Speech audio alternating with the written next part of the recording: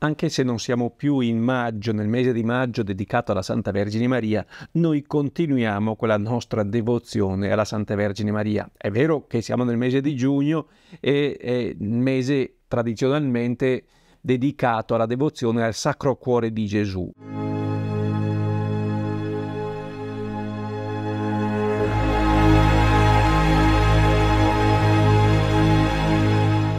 Ma vedete, quando si ama la mamma, il figlio è felice, Gesù è felice che noi amiamo, onoriamo e sempre più cerchiamo di conoscere la nostra mamma del cielo, la Santa Vergine Maria, corredentrice, colei che ci ha donato il Redentore e che con lui ha partecipato all'opera della redenzione.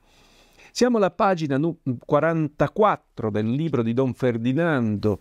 La Madonna racconta le confidenze della Vergine Maria ai suoi figli e siamo all'incontro con Elisabetta.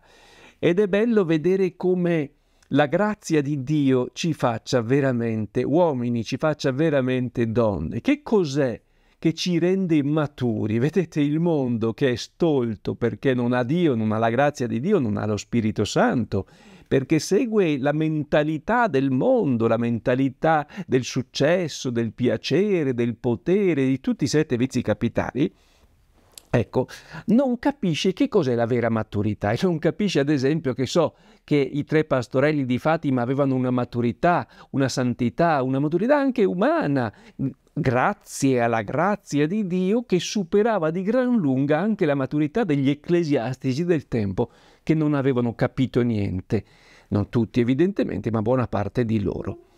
La Vergine Maria dice sì a Dio, dice sì a, all'angelo e in lei eh, comincia a esistere Gesù nel suo corpo. Da ragazza, poco più che adolescente, mi scoprì improvvisamente donna. L'educazione e la formazione che avevo ricevuto e soprattutto in famiglia avevano messo delle solide basi alla mia giovane età. Aveva 16 anni la Madonna, eh? non è che fosse una trentenne, ma la maturità che si era realizzata in me dopo quell'incontro avevano, aveva un contenuto, un valore completamente diverso. Vedete, l'incontro con Dio, l'incontro con la grazia di Dio trasforma l'uomo, rende profeti anche dei giovani, rende santi delle persone che sono deboli. È una maturità che non è solo fisica e corporea, ma è anche psicologica e soprattutto spirituale, perché non dimentichiamo che il corpo lo lasciamo qua ed è lo spirito quello che si deve elevare. Eh, nel, no, Dio è spirito, eh, lo Spirito Santo è l'amore di Dio. Se noi eh, coltiviamo le cose dello spirito, anche il nostro corpo si spiritualizza, come sarà in paradiso peraltro una responsabilità mi investe che esige prudenza, capacità di valutazione, valutazione critica, senso pratico e criteri di comportamento non improvvisati. In una parola, saggezza. Ecco quello che ti dà lo Spirito Santo. Ho così constatato quanto la fede aiuti la nostra intelligenza e quanto la grazia aiuti la volontà ad agire rettamente e dominare i nostri moti disordinati della sensibilità. La nostra sensibilità, ah ma io mi sento di fare così, e ho capito, ma non è che siccome tu senti allora devi dire di sì a quello che senti. Se io sen- dovessi acconsentire a tutto quello che sento dovrei andare in giro con il cannone probabilmente e eh, far fuori quattro quinti delle persone che incontro e, e, fare tante altre cose brutte che non vanno bene o dovessi seguire gli impulsi, eh, dovessimo seguire tutti noi gli impulsi della lussuria dovremmo, dovremmo eh, fare delle cose turpi, ma vedete un conto è sentire e un altro conto è acconsentire. La sapienza, la saggezza e la grazia di Dio ci viene incontro in questo, non viene a togliere da noi la sensibilità, ma ci aiuta a eh, accompagnare la sensibilità con un consentire a ciò che sentiamo bene e a non acconsentire a quello che la nostra sensibilità ci porterebbe a fare atti egoistici o cattivi. moti disordinati, chiama la Madonna. Mi sentii in dovere quindi di correre immediatamente da Elisabetta a prestarle aiuto. La fede e la grazia agiscono su quello che trovano sulla nostra personalità umana. Per questo è così importante anche la nostra formazione culturale, non solamente spirituale. Vedete, certi pensano, ah ma basta che io preghi il rosario, o il cancro, mm, prega il rosario e si risolve tutto. No, vai dal medico. Ah, ho un problema psichiatrico, psicologico, ah, prega il rosario, prega la Madonna, vai uh, a Fatima, Meggiugori e risolvi tutto. No. Se hai un problema psichiatrico, devi andare dallo psichiatra se hai un problema eh, neurologico, devi andare da un neuro- dal neurologo. Se hai eh, un problema ai calli, puoi dire tutti i rosari che ti pare, ma i calli ti rimangono. E quindi vai da quello che si occupa dei calli. Poi, ovvio, non vuol dire che dobbiamo marginalizzare la dimensione spirituale, anzi è quella più importante, ma le qualità spirituali si appoggiano sulle qualità umane, quindi dobbiamo, è nostro dovere coltivare anche no, le nostre virtù umane, le nostre conoscenze umane, anche per confutare quelli che eh, con una mh, mm, capacità di parlare, di convincere, di, di imbrogliare le carte, eh, ci fanno vergognare della nostra fede. E quindi la cultura non è una cosa di secondo ordine, anche per chi di voi è ignorante. Fatevi una cultura, non vuol dire andare tutti all'università, leggete dei buoni libri, comprate libri di fede e cultura, ascoltate questi video quando possibile, ma soprattutto leggete i miei libri, non i miei libri, i libri, eh, anche io ne ho scritti tre, vabbè, ma eh, leggete i libri di fede e cultura, libri che formino culturalmente e spiritualmente insieme.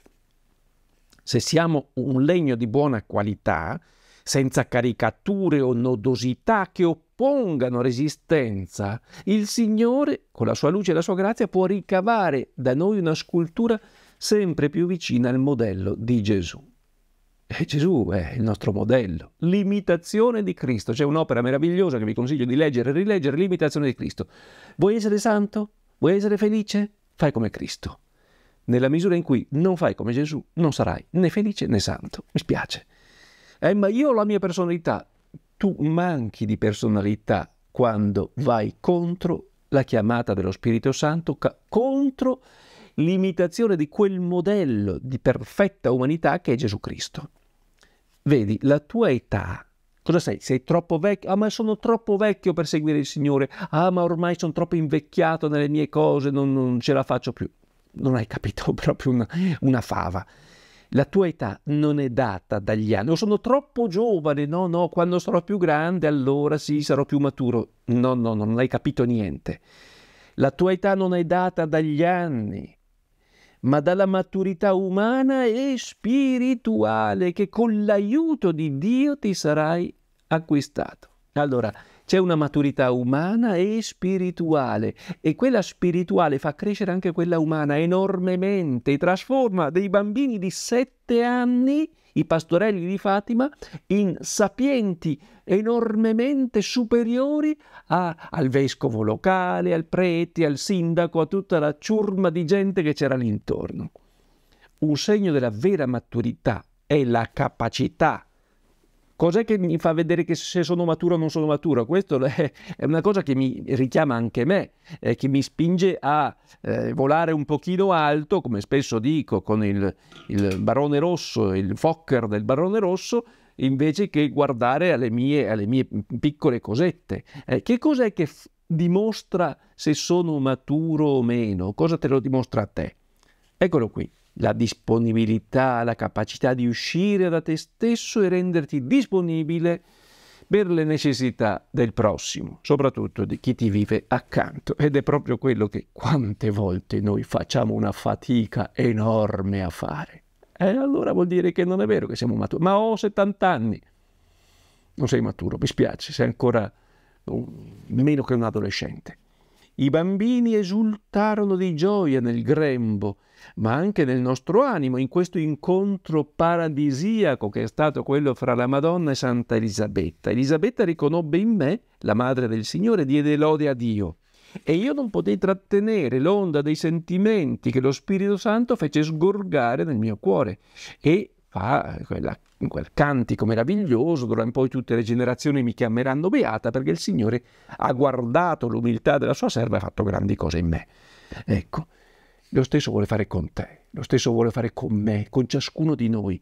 Figlio mio, dice la Madonna, lascia che il Signore compia in te le sue meraviglie. È Lui che deve fare in te le sue meraviglie. Non sei tu che ti devi sforzare con i tuoi pugni. Quante volte sui nostri pugni, sulla nostra forza, sulla nostra forza di volontà abbiamo conquistato qualche cosa che alla fine ci ha fatto solo del male. Pensate ai grandi ricchi.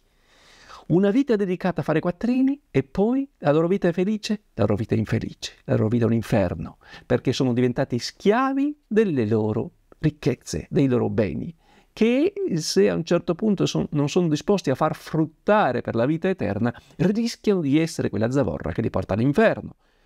Se invece riescono a trasformare le ricchezze di questa terra in beni per l'eternità, allora è un'altra cosa. Ed è possibile anche questo, ovviamente con la grazia di Dio. Ma dobbiamo lasciare, vedete, il cristianesimo è, è facile, basta mollare Basta arrenderci davanti a dire, dire Dio sì, fai quello che vuoi. Io ho fatto tante cose, ho fatto un sacco di vaccate. Fai tu, lascia, compi tu l'opera che vuoi nella mia vita. Io mi abbandono in te.